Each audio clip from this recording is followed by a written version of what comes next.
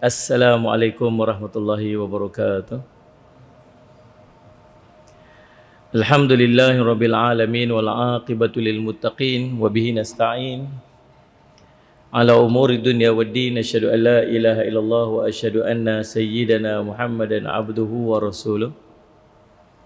Allahumma salli wa sallim ala habibil karim Sayyidina Mustafa sallallahu alaihi wasallam wa ala alihi wa ashabihi wa man tabi'ahum bi ihsanin ila yaumiddin Subhanaka la ilma lana illa ma 'allamtana innaka antal alimul hakim Rabbi shrah li sadri wa yassir li amri wahlun 'uqdatam min lisani yafqahu qawli بسم الله ما شاء الله لا يسوق الخير إلى الله ما شاء الله. لا يصرف السوء إلى الله ما شاء الله. ما كان من نعمة فمن الله ما شاء الله. ولا حول ولا قوة إلا بالله العلي العظيم. بسم الله الذي لا يضر مع اسمه شيء في الأرض ولا في السماء وهو السميع العليم. بسم الله الذي لا يضر مع اسمه شيء في الأرض ولا في السماء وهو السميع العليم بسم الله الذي لا يضر مع اسمه شيء في الأرض ولا في السماء وهو السميع العليم نعوذ بكلمات الله التامات من شر ما خلق نعوذ بكلمات الله التامات من شر ما خلق نعوذ بكلمات الله التامات من شر ما خلق اللهم إنا نعوذ بك من البرص والجنون والجذام ومن سيء الأسقام اللهم إنا نعوذ بك من البرص والجنون والجذام ومن سيء الأسقام اللهم إني اللهم إنا نعوذ بك من البرص والجنون والجذام ومن سيء الأسقام وصلى الله على سيدنا محمد وعلى آله وسلم الحمد لله رب العالمين Alhamdulillah segala puji dan syukur kita panjatkan kepada Allah SWT dengan limpah kurnia inayah dan taufik si Allah. Kita dapat sama-sama pada malam ni yang saya hormati Al-Fadhil uh, Ustaz pengacara majlis, uh, pengurusi masjid, seluruh uh, pegawai-pegawai masjid, para imam, bilal, uh, semua para asatizah, alim ulama, ibu-ibu, ayah-ayah, tuan-tuan, puan-puan sedang hadirin dan hadirat yang dirahmati oleh Allah sekalian. Alhamdulillah sampai lagi sekali saya ke Masjid Tebuk ni ini kali ketiga lah. Khutbah Jumaat sekali, kuliah subuh sekali, ni kuliah maghrib sekali. Lepas ni ada kuliah subuh, kuliah zuhur sekali, kuliah asar sekali, kira cukup lengkap. Hari ni, malam ni, insyaAllah dalam kesempatan ni, sekejap lagi habis kuliah ni, saya nak balik Kedah. Ha, tuan-tuan doakan perjalanan saya dalam diselamatkan ha, dalam perlindungan Allah SWT.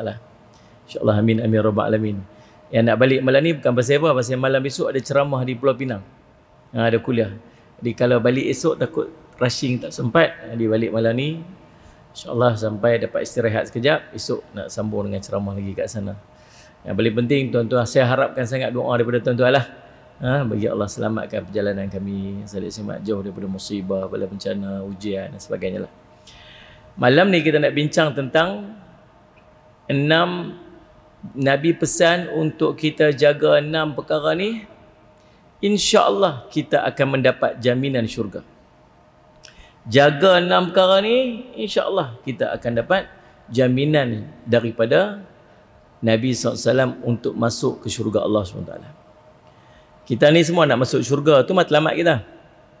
Ya? Orang Islam semua nak masuk syurga. Tak ada pilihan lah. Ha. Bahasa orang kampung saya kata that is the only option. Orang kampung saya sebut macam tu. Itu aja option lah. Tak ada A, B. Ha. Sebab kalau tak masuk syurga, masuk neraka.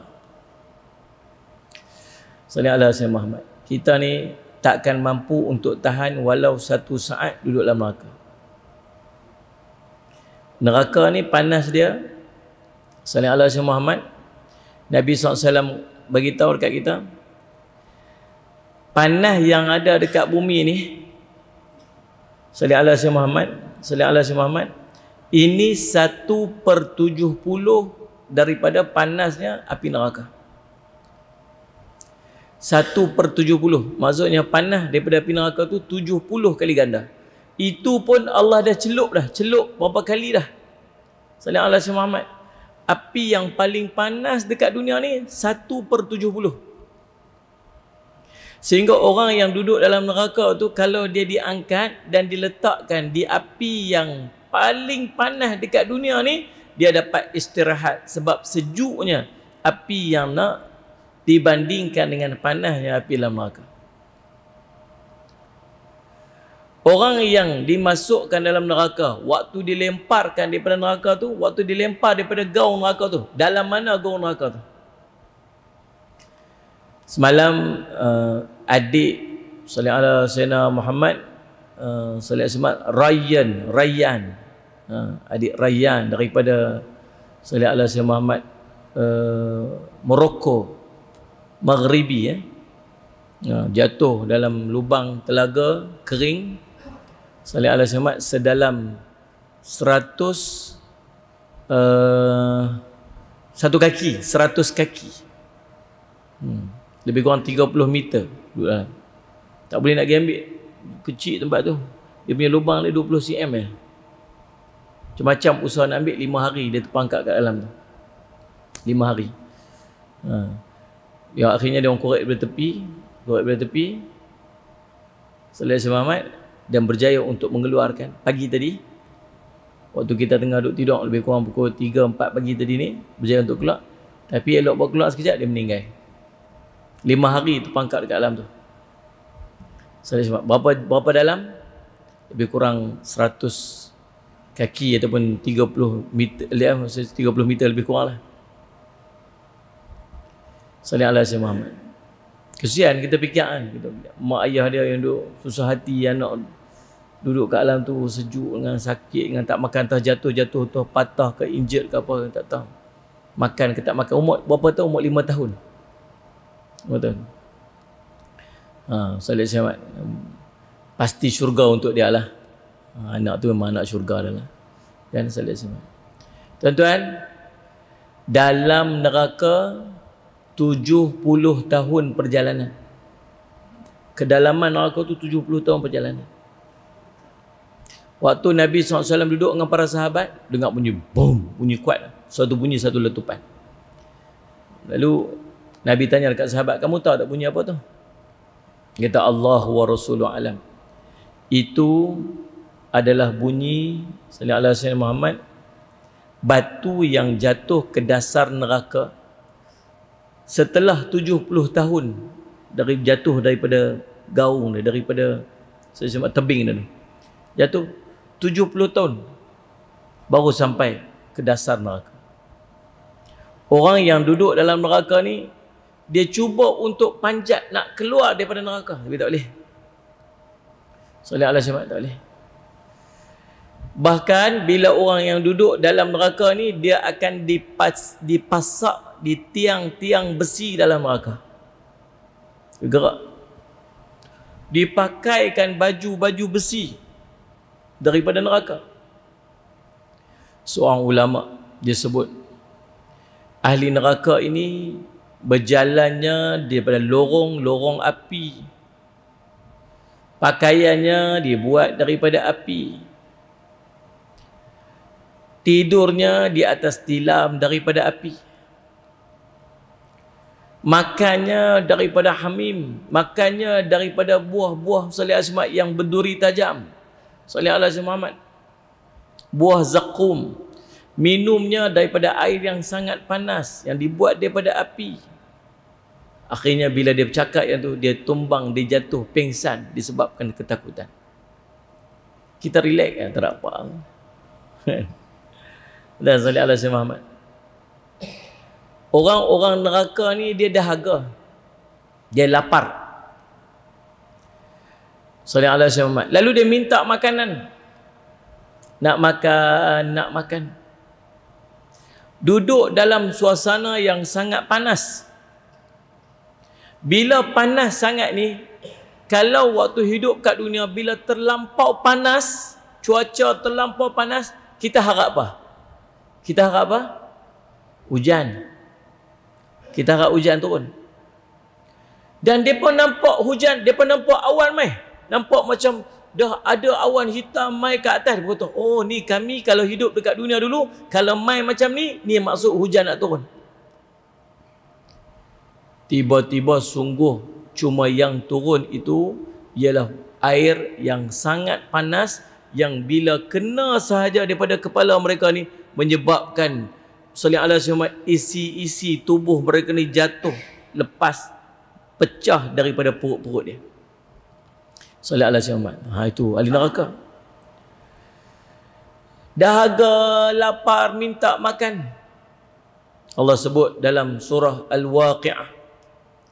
La akiluna min syajarim min zaqqum. Diberi makan dia daripada buah zakum. Buah yang sangat pahit tajam bila makan makan ni dia pecah kerongkong dia ni pecah perut-perut dia sallallahu alaihi wasallam Muhammad itu pun sallallahu alaihi wasallam Muhammad la akiluna min syajarin min zaqum famaliuna min hal butun. Dipenuhkan perut dia dengan makanan tersebut. Dahlah tajam pahit sumbat semua. Nah makan makan makan. Sallallahu alaihi wasallam fasharibuna alaihi minal hamim. Minum pula dia daripada hamim. Air yang sangat panas fasharibuna syurbal him minumnya seperti unta yang ada penyakit him unta ada penyakit him ni dia dia dahaga dia tak habis-habis dia dahaga dahaga minum air pun dahaga lagi minum air pun dahaga lagi sampai dia akan memakan lemak-lemak dalam badannya akhirnya menyebabkan dia kering, kurus, dia sakit, dia mati. Dalam tempoh yang begitu lama. Dia minum, minum, minum air, minum air, minum air. Ha ni unta yang kena penyakit him. Nabi Allah gambar dalam Quran dia dia minum macam tu. Macam tu dia minum. Sallallahu alaihi Muhammad dan Allah cerita tentang air yang akan diminum oleh ahli neraka ni dalam surah Al-Kahfi Salih ala semat. Wa in yastaghithu yughathu bima'in kalmuh liyashwil wujuh. Bi'sa syarab wa sa'at murtafaqa. Bila dia minta minum disebabkan dahaga, maka akan diberikan minuman yang panas, mendidih seperti tembaga yang cair. Macam besi tembaga yang dimasak merah tu, lalu dituang ke mulutnya sehingga membakar jatuh daging-daging muka dia. Sallallahu alaihi wasallam Muhammad. Ha tu minuman ahli neraka. Itu pun dia minum macam unta dahaga. Minum, minum, minum. Pasal apa? Pasal hadza nuzuluhum yaumiddin. Itu sahaja hidangan ataupun makanan dan minuman yang akan diminum dan dimakan oleh ahli neraka. Dalam satu riwayat menceritakan dalam kitab An-Nihayah fil Fitan wal Malahim Imam Ibn Kathir memetik satu riwayat keadaan orang-orang dalam neraka. Duduk beramai-ramai dalam neraka, di antara mereka ni ada satu rantai besi daripada neraka neraka yang bergeser. Rantai besi ni bergeser, bergeser, bergeser, bergeser sehingga tunggang langgang penduduk neraka tu macam duduk dalam blender. Terpelanting sini, terpelanting sini, terpelanting sehingga melukakan tubuh badan, mengeluarkan darah dan nanah. Lalu darah dan nanah ini mengalir ke satu tempat, ada satu lubang dan menakunglah di situ darah dan nanah daripada orang-orang ahli neraka tadi ni dan itulah yang akan menjadi minuman kepada ahli neraka tersebut. Tuan-tuan, ini option kedua yang kita memang tak mau pi. Tak mau pi. Maka kita akan Pi ke satu tempat kalau tak mau yang ni kita wajib masuk syurga. Kena masuk syurga. Salih ala Sayyid Muhammad. Nak kena pastikan kita ni jadi ahli syurga. Ada satu riwayat cerita waktu semua dah bersiap-siap nak masuk syurga. Ni semua dah ready dah ni. Nabi SAW yang paling awal sekali dia Nabi yang paling awal sekali masuk Nabi kita yang akan ketuk pintu syurga. Dan syurga tak akan dibuka melainkan kepada Nabi kita Muhammad sallallahu alaihi wasallam. Siapa duduk belakang dia? Kita. Kita. Dalam tafsir Tabari cerita tentang Nabi Musa AS pernah minta nak jadi umat Nabi Muhammad SAW. Nabi Musa minta Nabi umat Nabi Muhammad. Sebab apa? Sebab dia kata, Ya Allah, aku tengok ada satu umat ni, mereka ni orang yang terakhir, orang last dalam dunia. Tapi mereka paling awal sekali masuk syurga. Settle awal dekat padang masyar, kita. Masuk syurga awal, kita. Padahal kita orang paling last sekali. Nabi Muhammad SAW pergi ketuk pintu syurga. Para malaikat tanya, siapa kat luar tu? Muhammad sallallahu alaihi wasallam. Lalu malaikat tu kata, kami tidak dibenarkan untuk membuka pintu ini kecuali kepada Muhammad sallallahu alaihi wasallam. Lalu pintu syurga pun dibuka. Dalam riwayat itu menceritakan malaikat Jibril AS duduk depan. Nabi SAW naik pergi ke depan panggil umat dia. Mas masuk masuk. Mas masuk syurga. Kita ni bila tengok-tengok syurga tak pernah tengok. Tak pernah tengok. Syurga ni punya cantik lah. Masya Allah. Salim ala Sayyidina Muhammad. Salim ala Sayyidina Muhammad. Salim ala Sayyidina Muhammad. Yang mata tak pernah tengok. Salim ala Sayyidina Muhammad.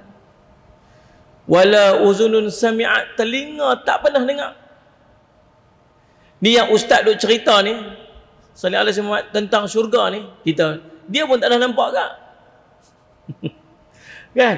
Tapi kita kalau dengar cerita syurga ni rasa macam ya Allah, macam ya Allah sedap, cantik. Padahal yang duk cerita pun tak pernah tengok. Tuan-tuan boleh bayang tak para sahabat Nabi yang dengar tentang syurga?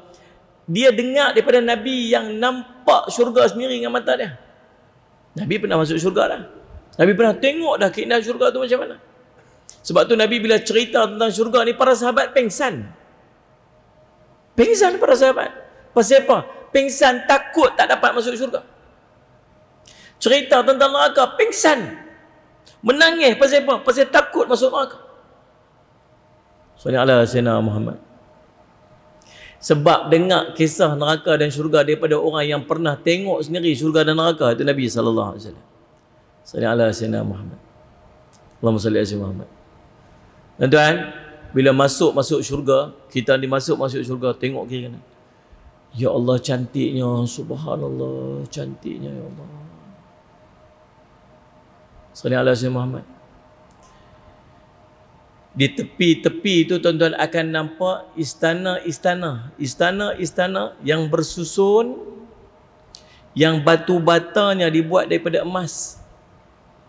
Yang kubah-kubahnya daripada emas yang pasirnya daripada mutiara debu-debunya daripada kasturi. Dinding-dinding biliknya itu daripada permata-permata berongga Nabi cerita.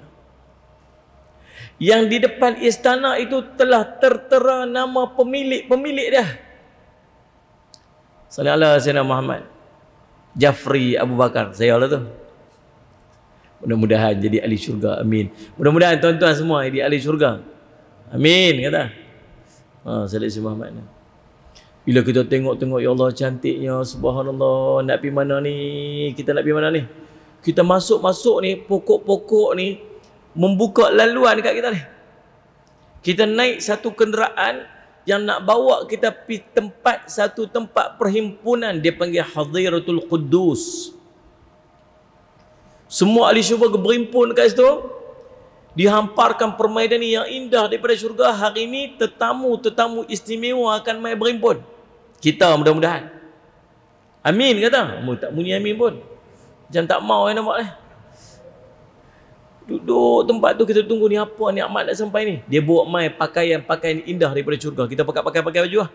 Semua pakai-pakai pakaian-pakaian kehormatan syurga ni dibawa mahkota-mahkota kat kita ni dibawa cincin-cincin cincin-cincin yang tertera asmaul husna dapat seorang satu Kemudian duduk. Pelayan-pelayan syurga mai. Pelayan-pelayan syurga mai bawa makanan-makanan untuk kita makan. Ha, salih Allah Muhammad bawa makanan. Kita pun makan makan. Makan makan ni, makanan syurga ni. Satu suap ni, Allah sedapnya. Tak pernah rasa sedap macam ni. Salih Allah Muhammad. Tak pernah rasa macam ni punya sedap makanan dalam syurga. Eh makanan kat dunia dulu. Lagi kita suap, lagi sedap. Lagi suap, lagi sedap. Lagi suap, lagi sedap. Ish, pelik. Tapi itulah syurga. Minum. Ambil minuman. Minuman syurga semua. Minum, minum. Allah SWT. Sedapnya, Ya Allah, minuman ni. Tak. Minum lagi sekali. Ya Allah, lagi sedap pada tadi. Letak. Minum lagi sekali. Lagi sedap pada tadi. Mana pernah nak macam tu? Dekat dunia tak ada minuman yang macam tu ada dekat syurga sebab dalam syurga benda yang mata tak pernah tengok, telinga tak pernah dengar, hati pun tak pernah terdetik dengan syurga ni. Kita ni tak pernah tengok syurga ya tuan-tuan. Tak pernah mimpi tengok syurga. Cuba mimpi sekali tengok syurga aku. Mimpi sekali je. Amal kita takkan sama macam anak amal kita lah ni. Ada seorang anak muda. Zaman Sallallahu Alaihi Muhammad Salih Allah Syed Muhammad Abu Sulaiman Ad-Darani Salih Syed Muhammad Dia tuan-tuan Salih Allah Syed Muhammad Dia Nak ikut Grup Abu Sulaiman ni untuk pergi ke haji. Dia nak ikut grup ni. Lalu, lepas tu Salih Syed Muhammad Dia kata tak apa bolehlah ikut sekali. Tapi perjalanan jauh lah sikit. Tak apa dia pun ikut. Dalam perjalanan ni Syekh ni duduk tengok budak ni Budak muda ni. Ibadat dia tak berhenti lah Semayang, sat-sat zikir, sat-sat baca Quran, sat-sat zikir, sat-sat baca Quran. Orang berhenti rehat, dia buat ibadat lagi. Orang berhenti rehat, buat ibadat lagi. Sampai Syekh Sulaiman ni rasa macam pelik dengan budak ni. Hang ni tak penat ke? Hang tak letih ke? Orang ni letih penat. Tapi hang ni tak berhenti-berhenti. Lalu sampai sampai dekat Mekah dia kata kita pisah tahun ni lah. Ada sampai dah perjalanan kita sampai dah masing-masing buat urusan masing-masing. Cuma aku nak tanya sebelum kita pisah ni. Boleh tak? Dia kata apa? Boleh tak cerita kat saya? Apa yang buat kamu ni semangat sangat sampai macam ni punya ibadat ni? Saya Allah Muhammad. Dia kata tak ada apa. Eh, cerita betul-betul. Cerita. Nombor satu, dia orang muda. Kalau orang tua tu lain cerita sikit. Orang muda ni pelik sikit. Ni boleh main masjid dengan muda ni bukan besar rahmat dah ni. Tapi kalau duk main masjid, game tak tinggal juga. Macam tu kan ada kat time-time dia. Facebook tak tinggal juga, WhatsApp tak tinggal juga, Instagram, TikTok main juga. Ha, tapi budak ni umur muda-muda ni dia ibadat tak dia pelik kamu ni. Dia kata sebenarnya saya pernah bermimpi melihat bangunan-bangunan dalam syurga takdirnya satu hari dia mimpi dia nampak bangunan dalam syurga bangunan-bangunan yang indah dalam syurga itu nampak. Dia kata subhanallah bila dia terjaga saja dia kata dunia ni dah macam tak ada nilai apa dah kat dia. Tak ada apa dah. Sebab bangunan dalam syurga bangunan yang kita mampu milik. Istana dalam syurga mampu milik tuan-tuan. Kalau kita kat sini nak beli istana sebiji, pakai dak lah. Nak beli banglo pun tak mampu dah. Tapi dekat syurga, istana dalam syurga kita boleh beli. Tak payah pakai duit. Modal air liu je. Ha, salih ala Muhammad. Baca qul huwallah 10 kali dapat istana dalam syurga. Salih ala Muhammad. Ha, sebagainya, sebagai contohnya. Salih ala Muhammad. Pi pasar. Nak dapat rumah sebiji dalam syurga. Bukan payah, pi pasar. Pi pasar, masuk pasar kata Nabi SAW ha, salih al-samad kata Nabi SAW Allahumma salli ala sayyidina Muhammad idza dakhalassu bila kamu nak masuk pasar fa aqra bacalah la ilaha illallah wahdahu la syarikalah lahul mulku wa lahul hamdu yuhyi wa yumitu biyadihil khair wa huwa ala kulli syai'in qadir.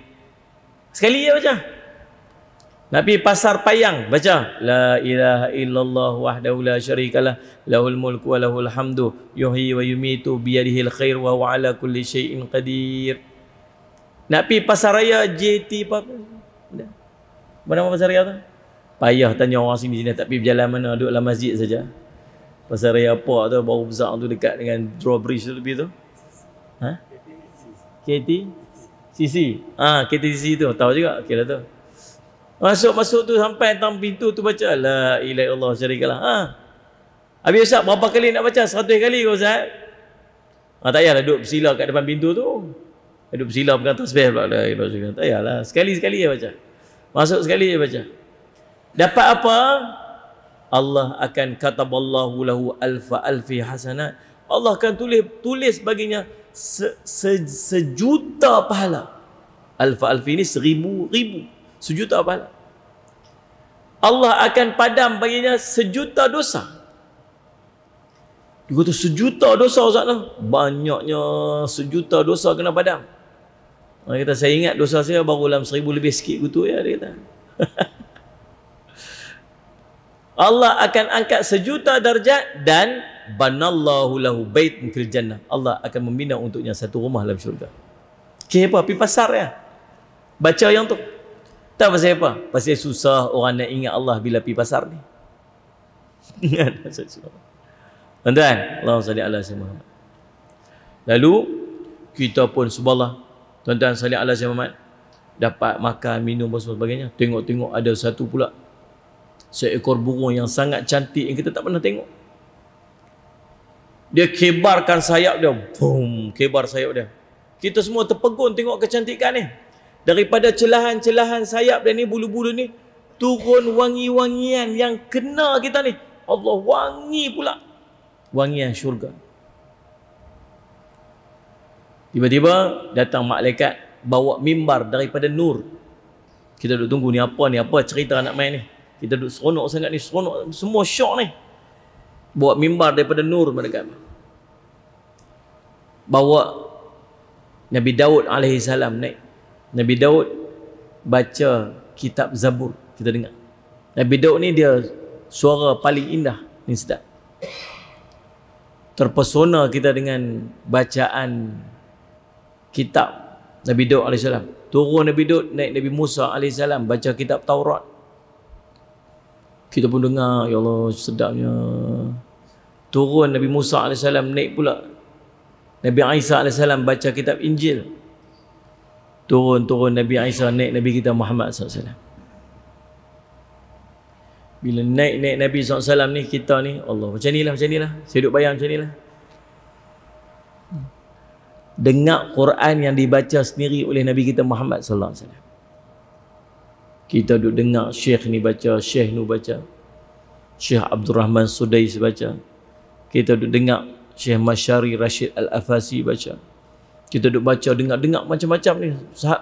Qari-qari hebat baca pun kita terpegun lah. Nanti dalam kita dengar sendiri, Nabi baca Al-Quran. Tak puas. Tak puas dengar. Allah Rabbi Kita duduk tunggu apa lagi nak main ni, apa lagi nak main ni. Tahu-tahu ada satu suara daripada langit. Dia kata, hambaku apa lagi yang kamu nak pada hari ini. Yang ni suara suara Allah. Kita tahu. Nak gambaran macam mana suara Allah kita tak tahu. Yang duk, dia duk bayang suara macam suara kita.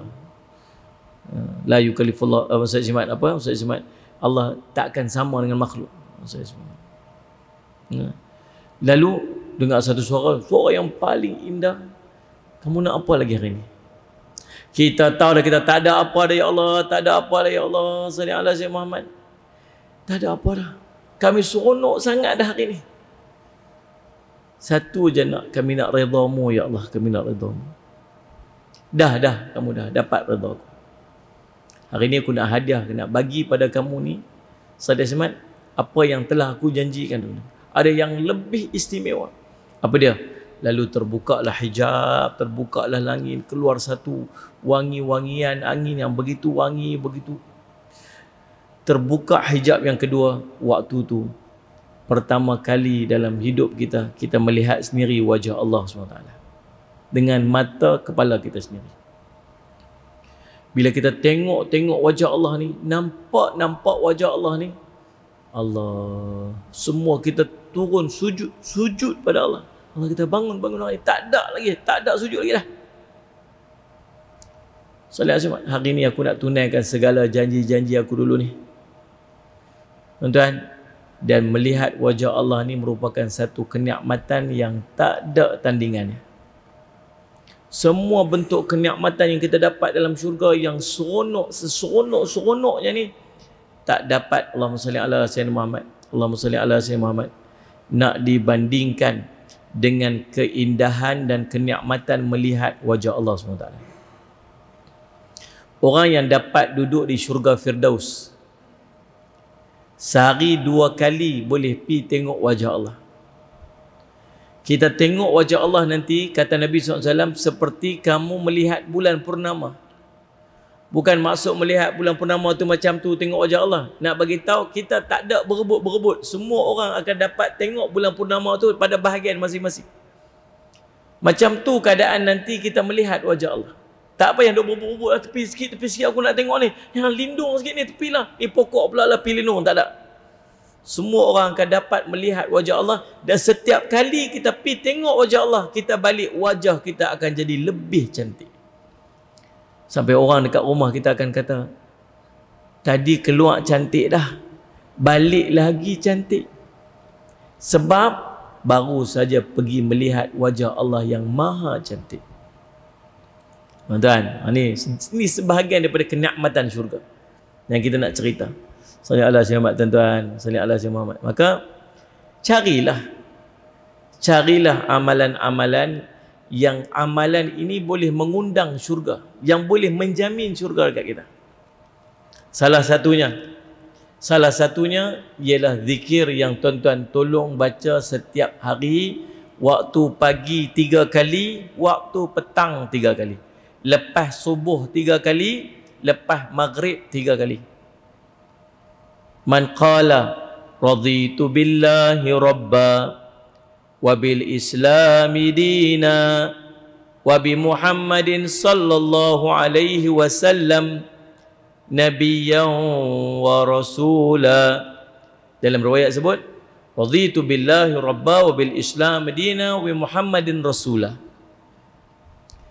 ha? man qala raditu billahi rabba wa bil islam dina wa muhammadin rasula wajabat lahul jannah siapa yang mengatakan raditu billahi rabba wa bil islam dina muhammadin rasula maka wajiblah ke atasnya syurga ha, ini di antara amalan kita ni ha, saya simak ingatlah Ha, paling tidak kalau tak ingat banyak benda paling ingat, paling tidak ingat satu zikir ni cukuplah pegang tu elok ni. Ha, salih Allah sebab pegang amalan tu elok. Start pada hari ni, ni lepas maghrib ni boleh sebut dah ni. Ha, sebut mari kita sebut sama-sama. رضيت بالله ربا وبالإسلام دينا وبمحمد رسولا. رضيت بالله ربا وبالإسلام دينا وبمحمد رسولا. رضيت بالله ربا وبالإسلام دينا وبمحمد صلى الله عليه وسلم نبيا ورسولا. Ha, Ini baca dah untuk malam ni selesai dah Esok lepas subuh jangan lupa pula ha? Amal sampai bila ni? Sampai mati ya? Ha, siapa janji kat kita? Nabi SAW janji Nabi SAW tak bercakap melainkan dia wahyu daripada Allah. Dan Allah tak pernah mungkir janji dia man asdaqa minallahi haditha. Perkataan siapakah yang lebih benar daripada perkataan Allah Taala. Ha tuan-tuan. Jadi salih Muhammad ada enam perkara lagi yang Nabi kata apa? Salih sayyidina Muhammad an Ubadah ibn Samit radhiyallahu anhu. Qal anna an-nabiy sallallahu alaihi wasallam qala id manu li sittan min anfusikum adman lakumul jannah salli ala sayyidina Muhammad. Jagalah kata Nabi SAW salli ala sayyidina Muhammad engkau jaminlah untukku daripada kamu enam perkara kamu janji nak buat enam perkara ni maka aku akan menjaminkan syurga untuk kamu kata Nabi SAW ha, ni enam perkara pula yang nak kita buat mudah-mudahan Allah bagi dekat kita ni kekuatan untuk jaga enam perkara ni sebab siapa jaga enam perkara ni dia akan dapat syurga Allah Subhanahu wa taala. Salli ala sayyidina Muhammad. Yang pertama, salli ala sayyidina Muhammad. Asdaqu idza hadathtum. Asdaqu idza hadathtum. Jujurlah apabila dia berbicara. Wa aufu idza wa'adtum.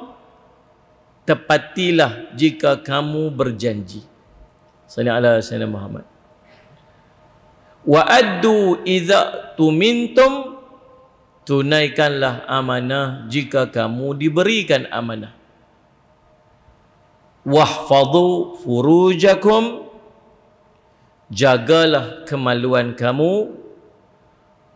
Wa kufu aydiyakum. Salih asal belum belum saya sebut wa ghuddu absarakum. Tundukkanlah pandangan kamu. Wa kufu aydiyakum. Dan tahanlah tangan-tangan kamu. Ini enam perkara yang Nabi SAW ajak dekat kita. Kalau kamu boleh jamin untuk jaga enam benda ni, Allah akan jaminkan kepada kamu syurga Allah SWT. Yang pertama, jujurlah bila kita berbicara. Salim Allah Sayyid Muhammad. Jangan duduk cakap bohong. Ini pesan Jangan duk cakap bohong. Orang Islam tak diajak untuk cakap bohong. Cakap bohong ni tuan-tuan, dia berantai. Tahu dia berantai? Haji, semalam ada ceramah tak nampak pun kat masjid. Salat Ahmad. Semalam ada ceramah tak nampak kat masjid. Takkan dia nak bagi tahu kata dia tengok gegar vaganza. Dia orang masjid dia kata apa ada ni um, adik beradik mai rumah dia bohong satu kawan ni kata apa? Tu lah adik beradik lah. Adik beradik mana mai? Ha, macam mana nak abang lah uh, Johor. Dua ada bohong. Jadi bohong satu Johor tu mai. Oh Johor lah saya cuma mai. Johor lah Johor kat mana? Saya ni dulu orang Johor. Oh sudah ni kata macam mana. Dia kata aduh jengkreng dia kata. Ke mana. Batu pahat dia sebut. Ish kecil dunia ni. Saya batu pahat lah. sudah. Ke mana pula batu pahat tu. Aduh dia nak bohong kat mana. Sebab tu tuan jangan mula dengan satu bohong. Setiap mula satu bohong dia akan berangkai, berangkai, berangkai bohong kita tu salih alaihi wasallam dia akan berantai dan akhirnya kita akan dikenal sebagai orang yang suka berbohong Nabi SAW tuan-tuan pernah ada berhadapan dengan seorang yang tukang suka bohong Nabi kena dia. Bukan berkena dia lah saja. Dia ni dia ni suka duduk dengan orang perempuan. Orang perempuan ramai-ramai dia dia dia, dia suka menempel gitu. Kadang-kadang kita pun ada juga macam-macam tu. Kan salih wasallam game masjid game masjid juga. Dia tengok ada di pantang tengok orang ni sikit dia duk menempel je lah. Salih Muhammad. Nabi SAW lalu tegur dia kamu buat apa kat sini? Itulah Rasulullah saya cari uh, unta saya hilang. Ah dia bohong. Dia, dia niat kilat takkan dia nampak saya ni suka duduk dengan perempuan ni. Ya cuma ada ni Rasulullah tanya aku dia kata Rasulullah uh, ni unta saya hilang. Oh, yang tu je keluar dari mulut dia kot. Tuan-tuan, tahu tak? Esok Nabi SAW jumpa dia. Nabi jumpa mana? Uh, unta kamu jumpa dah? Saja. Uh, tak, tak lagi esok lah. Tak, tak jumpa lagi. Uh, kita apa? Tak apa, nanti mudah-mudahan jumpa lah tu. Duk sehari jumpa pula. Selisih pula dengan Rasulullah. Unta kamu jumpa lagi? Dia kata, oh, tak, tak jumpa lagi Rasulullah. Sekejap lagi dia nampak Nabi SAW lalu dia kono ni dah. dah berjumpa pula Rasulullah. Untuk kamu jumpa lagi. uh, budak lagi Rasulullah. Last kali kata apa? Saya minta maaf Rasulullah. Saya bohong. Sebenarnya saya suka doa umpan. Ha, tuan-tuan sekalian. Pasal apa Nabi nak ajak? Jangan bohong. Sallallahu alaihi Muhammad. Ada seorang tu dia pernah menipu Nabi SAW. Nabi tak mau tengok muka dia. Nabi SAW nampak dia dia konok ni. Nabi nampak dia. Kita bohong ke orang tuan-tuan. Lama-lama dia akan berjumpa. Dan orang boleh tak tahu apa yang tuan-tuan buat dan apa yang tuan-tuan tipu. Tapi Allah tahu. Salih Allah saya Muhammad. Tapi adalah yang ada bohong yang diharuskan pada syarak ada. Antaranya bohong untuk mendamaikan dua pihak yang bertelagah. Kita kawan-kawan kita geng masjid kadang-kadang dah letak pendapat. Ada macam kita pun tak syok lah. Jadi macam tu. Kita cuba nak perbaikkan. Bagi baik dia antara dua orang. Kita pergi lah jumpa kawan ni. Kita kata dia. Ang dengan uh, Din tu macam mana? Hmm, aku tak boleh. Tak boleh dengan dia tu tak boleh. Tapi dia beritahu kat aku. Dia minta maaf kat Ang. Ha, kita buat cerita lah. Dia minta maaf kat Ang. Dia kata dia, kata dia salah. Dia mengaku salah dia tu. Jadi dia minta maaf. Dia, dia kesalam kat Ang. Kita betul ya? Betul ya? Ha, itulah aku kata dah. Dia memang salah. Dia mengakhirnya mengaku kat salah. Lah. Macam tu lah. Kita pula pergi jumpa dengan dia tu. Kita kata Ang dengan mak tu macam mana? Okey dah. Mereka aku tak boleh tahan dia tu. Dah aku jumpa dia baru ni, dia minta maaf, dia mengaku dia salah. Ha, akhirnya dia mengaku juga dia salah. Hmm. Tu dia kena salam. Waalaikumsalam. Macam tu lah orang akhirnya mengaku juga salah. Benda salah ni akhirnya mengaku juga. Ha, tak apa. Tuan-tuan. PP Market tuan-tuan. PP Market berjumpa dua-dua orang ni. Din dengan Mat tu. Tuan ni. Saya Mat tu kata kat Din. Akhirnya Hang mengaku juga salah Hang lah. Kawan dia kata, "Ai, bila masa aku mengaku, hari tu dia habaq kat orang, dia habaq kat aku kata hang mengaku salah." Dia kata, "Ai, habaq dalam bergaduh pula dua-dua orang tu dekat market." Tapi paling tidak tuan-tuan, usaha kita untuk pi menyatu tu Allah bagi pahala dah. kan? Yang keduanya ada antara bohong yang dibenarkan ini tuan-tuan sekalian ialah Ustaz bohong dalam kehidupan bersuami isteri ni. Ha ni bukan bohong sunat. Kita bohong bini je panjang. Solat so, Muhammad bukan maksud macam tu. Ada benda-benda yang kadang-kadang tak perlu untuk diceritakan sebagai contoh sejarah hitam yang dia lalui dalam hidup dia. Ha, Solat Muhammad. Kata, dulu waktu waktu bujang dulu berapa orang boyfriend tanya isteri dia. Eh tak ada. Ha. Saya tak ada siapa-siapa. Teh lah. Teh. Buah lah tu. Tiada lah dulu sejarah-sejarah hitam. Kata, ada berapa orang boyfriend? Sat lah. Sat. Satu, dua. Tujuh orang lebih kurang.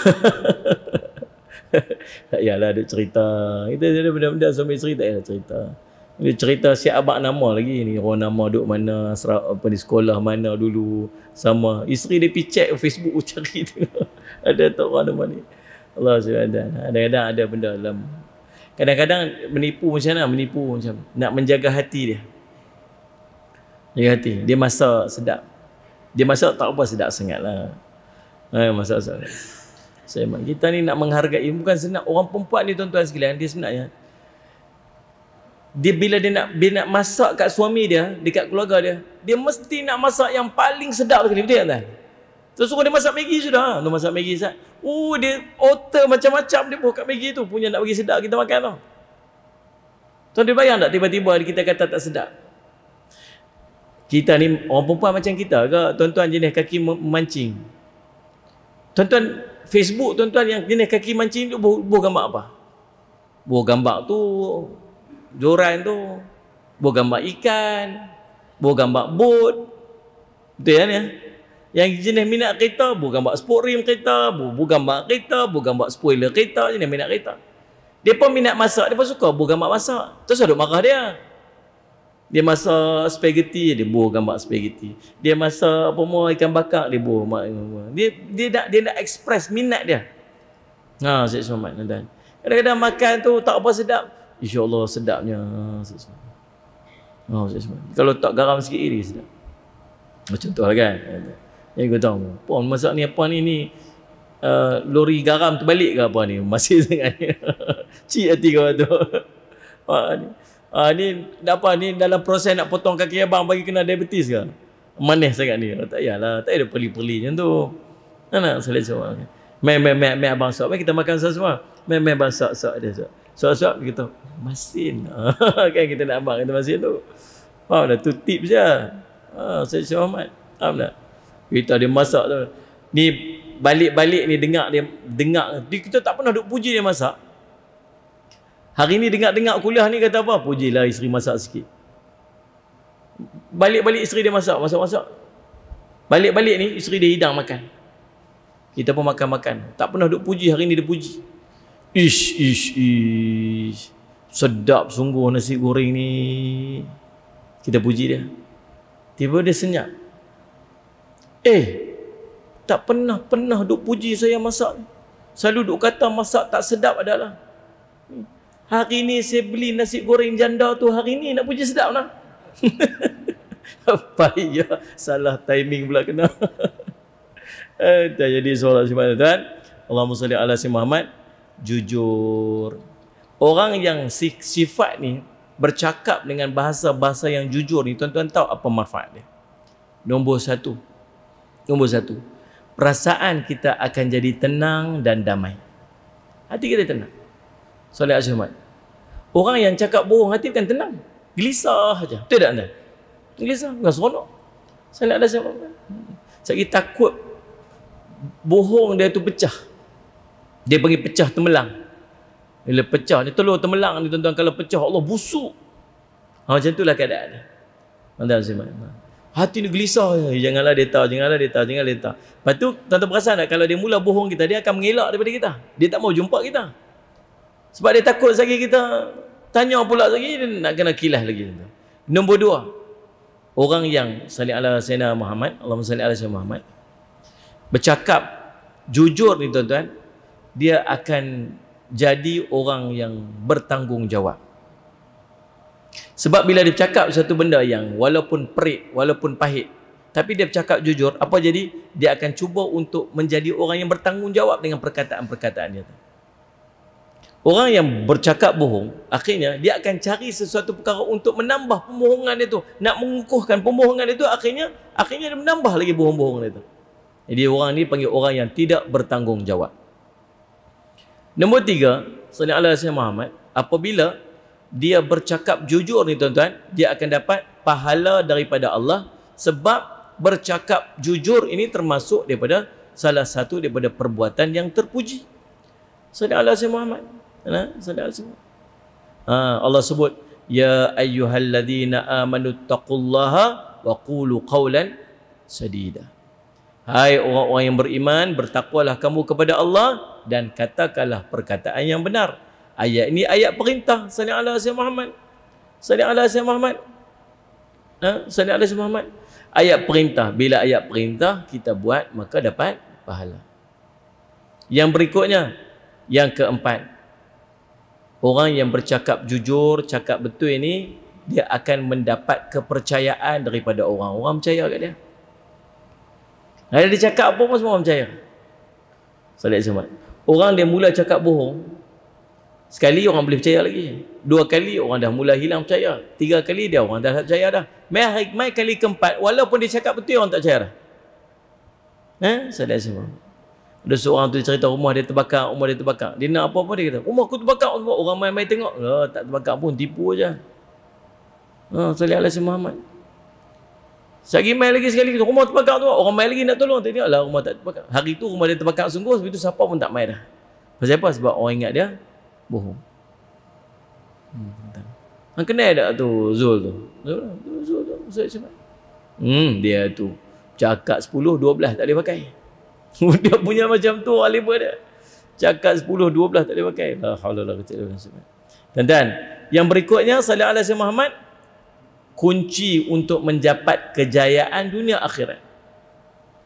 Salah satu kunci untuk mendapat kejayaan dunia akhirat ialah dengan bercakap benar.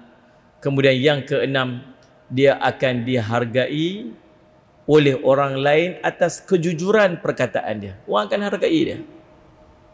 Oh dia ni orang cakap tu Salih Muhammad. Ha anak anak bagi bisnes. Nak apa nak apa? Ha tu hampir bincang dengan dia ni. Dia ni jenis betul punya orang, cakap betul punya orang. Ha, dia akan dihargai dengan apa yang dia buat.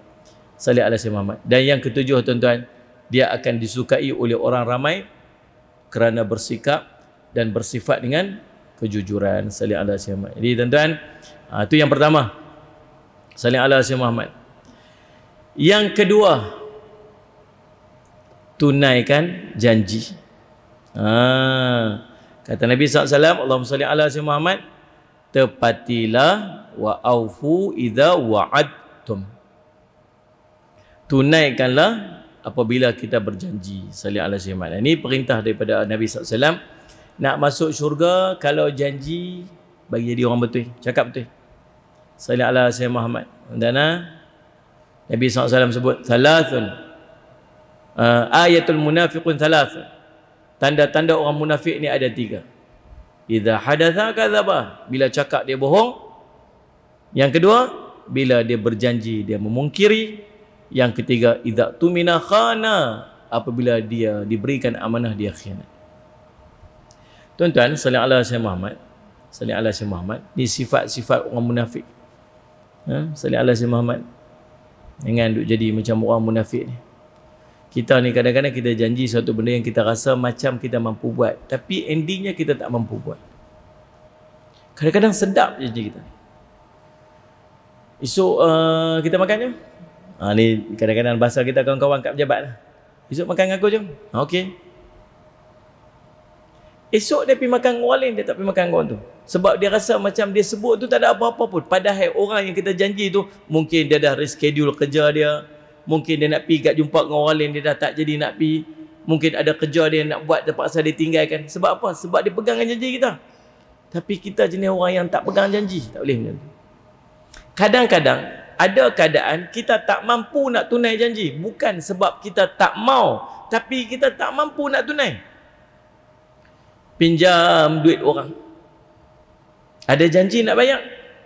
Tuan-tuan utang wajib bayar lah hutang wajib bayar. Ada seorang tu waktu dia mati dipanggil Nabi SAW untuk pergi semayang jenazah dia. Nabi tanya sebelum nak semayang jenazah ni, ni dia ni ada hutang apa-apa tak? Ada ya Rasulullah. Kalau dia ada Nabi tak mau semayang jenazah dia.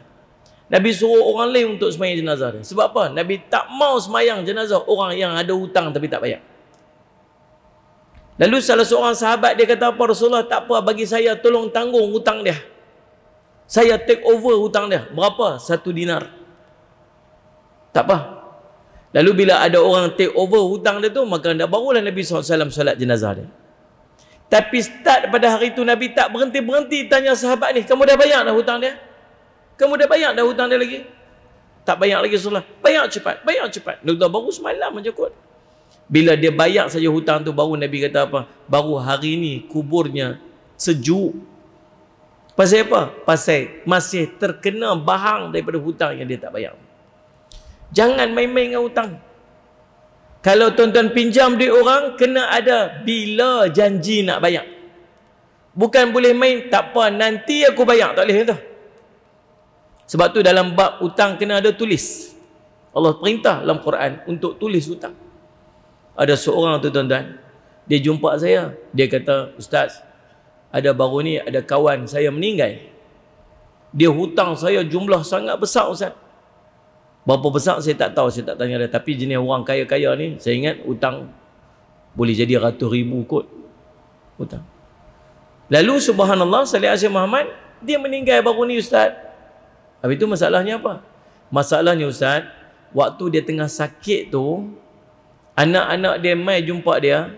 Anak-anak dia tanya, ayah ada hutang siapa-siapa ke? Dia kata tak ada. Kami pi jumpa dengan anak-anak dia. Kata dekat anak dia, ni ayah kamu ada hutang dengan kami. Jumlah sekian-sekian.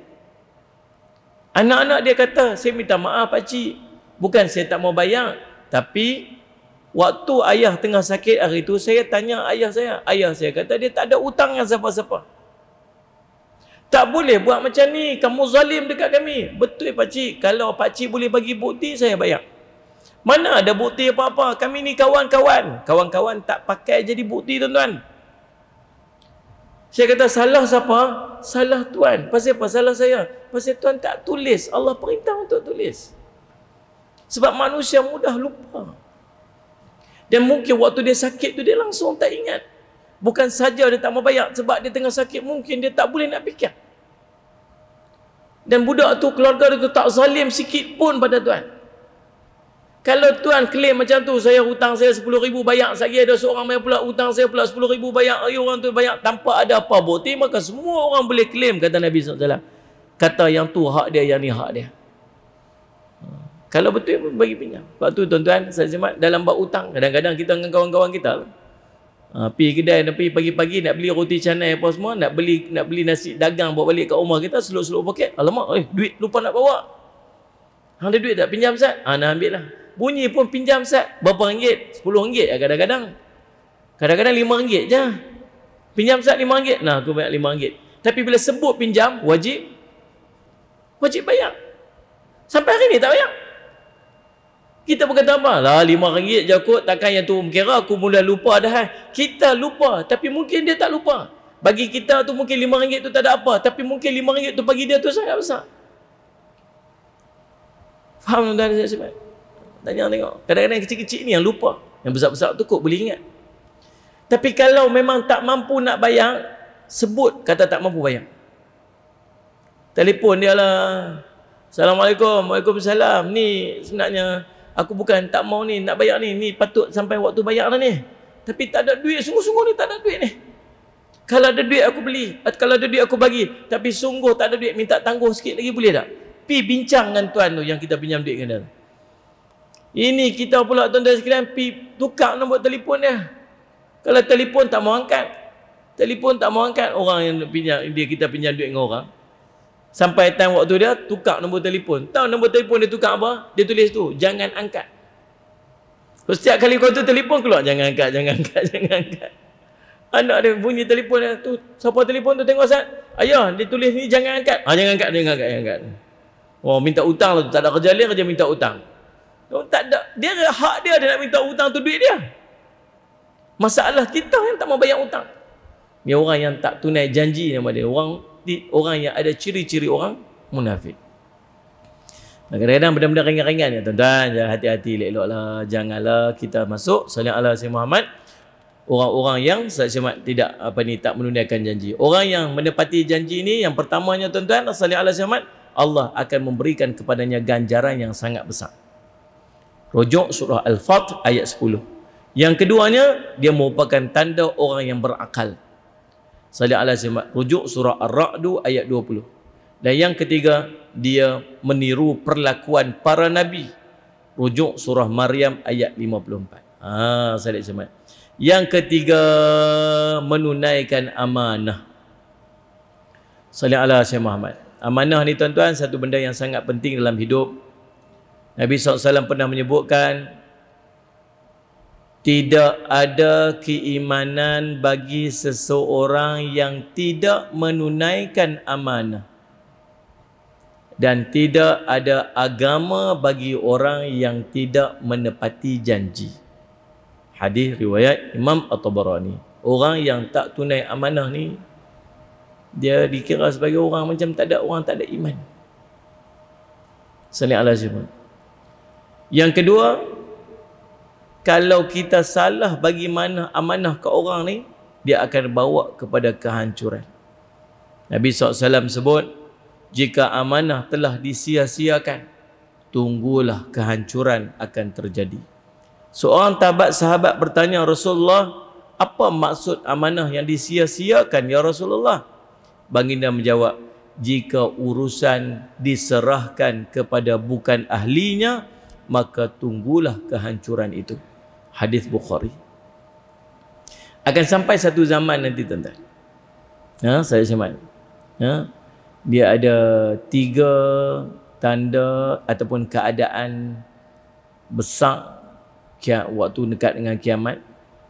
Dan salah satunya tuan-tuan akan berlaku waktu tu Salih ala Muhammad dia akan berlaku peperangan yang menghancurkan bumi. Peperangan sangat besar. Lepas berlakunya peperangan tu, Salih ala Muhammad dia akan main satu keadaan keadaan yang tenang. Waktu tu apa yang akan berlaku? Kita akan angkat pemimpin daripada kalangan orang yang paling bodoh daripada kalangan kita. Waktu tu. Ha, Siapa pemimpin kita angkat tu? Orang paling bodoh sekali. Dan dia terkenal dengan kebodohan dia. Kita angkat dia tak jadi pemimpin kita. Pada waktu tu. Salih Allah si Muhammad. Dia ada satu perkataan Nabi SAW sebut akhir zaman akan ada satu kelompok nama dia Ruwai Bidah. Siapa Ruwai Bidah ni? Ialah seorang yang bodoh. Dia tak tahu apa-apa. Tapi dia menguruskan hal ehwal yang besar. Nak ni untuk kaum untuk umat seluruh. Ha, dia akan sampai waktu macam tu. Dan tunggulah kehancurannya. Salih ala semua. Tuan-tuan, kita dengar cerita orang lain, kita dengar cerita daripada orang lain, salih ala semua Muhammad, salih ala semua Muhammad, dan tak menyebarkannya, itu juga satu amanah. Nabi SAW sebut dalam hadis riwayat Imam Ad-Darimi, salih ala Abi Darda menyebutkan bahawa pernah mendengar Nabi SAW bersabda, Barang siapa yang mendengar satu berita daripada seseorang yang dia tidak berkenan untuk menyebarkannya, maka itu adalah amanah walaupun orang tersebut tidak meminta untuk disembunyikannya, menyembunyikannya. Tuan-tuan dengar satu cerita daripada seorang yang dia cerita tu cerita rumah tangga dia. Kalau orang mai cerita kat kita tentang rumah tangga dia, tuan-tuan Tuan-tuan rasa dia nak kita cerita ke orang tak apa yang dia cerita kita tu? Tuan-tuan faham tak soalan saya tu? Tuan-tuan pi ada tuan-tuan ada masalah rumah tangga, masalah dengan isteri lah kata. Tuan-tuan pi dalam ramai-ramai tuan-tuan pilih kawan tuan-tuan ni. Ni aku nak cerita ke hang sikit aku ada masalah dengan bini aku ni. Aku tak tahu lah apa jadi dengan dia. Bangkit-bangkit pagi tadi semalam mimpi. Dia mimpi apa tak tahu dia marah kat aku. Dia kata dia mimpi kata aku menikah lain. Dia mimpi aku yang kena marah. dia cerita kan contoh lepas tu lepas tu bergaduh lah bergaduh-bergaduh apa semua dekat rumah apa sebagainya dia duduk cerita pasal urusan dalam rumah tangga dia. Agak-agaknya lah kita yang pergi cerita urusan rumah tangga kita pada orang tu tuan-tuan duk rasa patut ada orang tu pergi cerita ke orang lain. Faham tak faham soalan saya tu? Patut tak? Tak patut lah. Walaupun dia tak pesan jangan duk bercerita ke orang. Tapi subhanallah suasana dan cerita yang dia ceritakan itu sudah maklum bagi kita bahawa kita tak patut cerita kat orang dan itu dah disebut sebagai kita memegang amanah. Dia faham tak? Tu kalau ada orang duk main cerita kat kita tentang kehidupan dia, tentang susah payah dia, tentang masalah rumah tangga dia ke apa tuan-tuan, kadang-kadang dia nak jadi apa ni? Dia nak kita ni jadi good listener je. Eh, nak jadi a shoulder to cry. Ha tu bahasa orang kampung saya sebut. Ni bahu untuk ditangisi. Dia nak itu ya. Antu lu dengar hantar saya cerita apa atau saya cakap apa atau saya kata apa, hang dengar je. Dia pun cerita oh, kita pun dah. Boring tu cerita hang. Ya sebab. Ha tu. Bila dia dengar saja tuan-tuan, waktu tu tuan-tuan patut rasa apa? Tuan-tuan patut rasa bahawa dalam ramai-ramai orang dia percaya kat kita sebab tu dia macam cerita kat kita. Waktu tu kata Nabi SAW Berilah nasihat Pada orang yang meminta nasihat. Nabi SAW pergi. Tapi bukan semua kadang-kadang benda kita tahu Kita tak tahu. Tak tahu Kita kata kat dia apa? Sabarlah. Sabarlah. Ah, Benda semua macam tu. Orang perempuan semua macam tu. Bini aku seorang je okey sikit kata. Ya gitu. Ha, Dengar je kadang-kadang. Salih alaihi wasallam. Tapi bila diberikan amanah tu kat kita, kita kena jaga kepercayaan. Ini cerita kau orang. Semalam dia main kat aku. Siapa tu? Dalam sebelah. Masalah dengan bini dia. Dia panggil orang yang tidak menunaikan amanah. Dan yang berikutnya tuan-tuan, amanah adalah salah satu amalan yang boleh membawa seseorang itu ke dalam syurga. Kepada Abi Darda radhiyallahu anhu Nabi SAW pernah menyebutkan barang siapa yang melakukan lima perkara ini Salih Sayyid Muhammad dengan iman maka dia akan masuk syurga. Yakni orang yang memelihara solat lima waktu dengan wuduk yang sempurna, rokok dan awal waktunya. Tambah. Yang kedua, berpuasa bulan Ramadan. Yang ketiga, haji bagi yang mampu. Yang keempat, membayar zakat. Dan yang kelima, menunaikan amanah. Habis. Yang ketiga tuan-tuan sekalian menjaga kemaluan dengan maksud Allahumma salli ala sayyidina Muhammad menjaga maruah diri. Dan ni banyak sangat kes zina. Sampai takut kita tu kan. Anak luar nikah ni berselerak. 250 ribu anak luar nikah didaftarkan hanya dalam tempoh 2 tahun. Saya pergi penjara ada seorang budak perempuan. Umur dia belum 20 tahun lagi saya ingat. Salin. Dalam penjara. Saat ni anak saya tolong Ustaz bagi nama. Oh, tak ada nama lagi. Tak ada nama Ustaz. Ustaz saya salin seorang-seorang Ustaz. Mak ayah saya tak main menangis. Pasal apa? Pasal buat lahir anak luar nikah. Zina ni Allah Nabi SAW cerita dah tentang waktu ni. Sampai satu zaman Nabi SAW cerita zina ni orang berzina di jalan-jalan pada waktu siang hari. Nabi menggambarkan penzinaan itu berlaku pada waktu cerah orang boleh nampak. Indirectly kita boleh faham lah ni orang berzina dengan maksud tuan-tuan semua mampu untuk tengok. Ni yang duduk depan saya ni semua orang boleh tengok perzinaan itu. Dengan hanya melayari. Tidak. Option yang kita ada kat depan mata yang depan kita ni kita ni nak tengok dengan tak tengok aja tuan-tuan nak tengok tekan aja tuan-tuan boleh tengok kita ni tua-tua taklah sangat teringin nak tengok risau tu budak-budak tu ada satu kes tuan-tuan tahu, seorang budak umur 10 tahun dia rogol sepupu dia umur 7 tahun. Budak lelaki umur 10 tahun rogol sepupu dia umur 7 tahun, bukan setakat rogol, rogol dan liwat. Mana dia reti umur 10 tahun ni? Kita 10 tahun tak reti apa lagi tuan-tuan. Waktu kecil tu pakai baju Power Rangers lagi umur 10 tahun tu.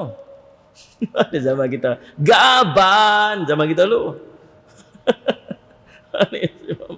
ha, mana ada reti apa? Dia pun 10 tahun rukul orang. La haula wala quwwata illa billah azim. Tuan-tuan, syamat jaga. Dan di antara ni tuan-tuan, ulama menyebutkan bahawa bila menyebut jaga maruah ataupun jaga sesmat termasuk juga dalam keadaan kita menjaga maruah diri. Orang perempuan jaga. Suami tolong tengok sama nah, post-post isteri kita di media sosial suami kena ada rasa cemburu. Ha, jangan sampai duk cerita benda-benda yang tak patut cerita dan duk tunjuk benda-benda yang tak patut ditunjuk. Ha, yang berikutnya, yang kelima, Allah perintah kepada kita untuk tundukkan pandangan. Ha, Allah Sesungguhnya wanita itu adalah aurat. Apabila dia keluar daripada rumahnya syaitan akan menjadikan dia cantik pada pandangan laki-laki dan dia akan jauh daripada kasih sayang Allah Ta'ala melainkan apabila dia berada dalam rumahnya. Allah hiaskan perempuan ni cantik. Eh, syaitan akan hiaskan perempuan-perempuan yang di jalan ni cantik. Tuan-tuan tengok Facebook tuan-tuan tengok Instagram cantik pasal apa cantik sangat pasal syaitan yang hiaskan pada wajah-wajah itu kecantikan bila dia berjalan, syaitan akan hiaskan lenggok-lenggok punggung dia tu supaya nampak cantik pada mata orang lelaki-lelaki. Salih Allah Sayyid Muhammad. Tuan-tuan, waktu tu Allah suruh kat kita dua perkara. Orang perempuan jaga pakaian, orang lelaki-lelaki tunduk pandangan. Dua-dua kena main peranan. Orang perempuan kena jaga pakaian, Jangan duk pakai yang sendak-sendak yang ketat. Salih Azamat. Sehari orang lelaki-lelaki ni bukan boleh sangat. Dia pakai lagu tu tuan-tuan. Kita nak tengok tak tengok. Tak tengok rugi. Tengok astagfirullahaladzim. Dia kata gitu. Lepas tu bila kita ternampak-nampak tu dia balik dia cukup pinggang kita pula. Dia kata apa-apa tengok-tengok. Ini marah kita pula. Ha, tunjuk pasal apa? Kata, eh, ini adalah untuk kepuasan diri saya sendiri. Pada otak dia, kita kata, menyusahkan orang semua tu. Salih ala si Muhammad. Apa ni? Ha, kata, orang lelaki lah kena tunduk pandangan. Ya, kami tundukkan pandangan. Orang perempuan tolong jaga aurat dan pakaian. Masing-masing main peranan lah. Salih ala si Muhammad. La hawla wa la quwata illa billah alal azim. Maka tuan-tuan, salih ala si Muhammad. Jadi, itulah yang patut berlaku. Salih alaihi wasallam jaga. Dan yang terakhir Nabi SAW sebut tentang siapa boleh jaga benda ni maka Allah akan jamin kepadanya syurga iaitu wakuf wa aidiyakum yakni jaga tangan-tangan kamu dengan maksud jangan menginaya orang jangan menzalimi orang jangan mengkhianati orang dengan perlakuan tangan-tangan kita ni. Nah kadang-kadang ambil hak orang kadang-kadang perosak harta benda orang kadang-kadang buat zalim ke orang, pukul orang dan sebagainya dengan tangan-tangan dan kekuatan yang Allah berikan kepada kita, jaga yang tu, jangan buat macam tu. Saya lihat tuan-tuan, dan siapa boleh jaga tangan dia daripada dia buat zalim ke orang, maka Allah akan menjaminkan kepadanya syurga Allah taala. Mudah-mudahan Allah memberikan kepada kita kekuatan nah, untuk menjaga enam perkara ni yang sebenarnya sangat susah untuk kita. Bukan senang nak jadi jujur, Bukan senang tuan-tuan sekalian. Saya cuma mudah pula kita mungkir janji kita ni. Ha, saya cuma apatah lagi nak jaga pandangan, nak jaga hawa nafsu. Allah saja yang mengetahui betapa lemahnya iman kita ini. InsyaAllah mudah-mudahan sikit pada tazkirah tu jadi manfaat dekat kita semua insyaAllah. Saya minta ampun, minta maaf salah silap. Saya ucap terima kasih kepada pihak masjid yang masih sudi untuk menjemput saya main dekat sini insyaAllah. Mudah-mudahan kita dapat berjumpa lagi di lain masa dan ketika. Dan saya juga harapkan doa daripada tuan-tuan agar Allah agar Salih Syumat tuan-tuan pakat-pakat berdoa agar Allah selamatkan perjalanan saya sampai balik ke destinasi ke rumah saya insya-Allah di Kedah insya-Allah. Aku qouli hadza wa astaghfirullah li wa lakum. Wassalamualaikum warahmatullahi wabarakatuh.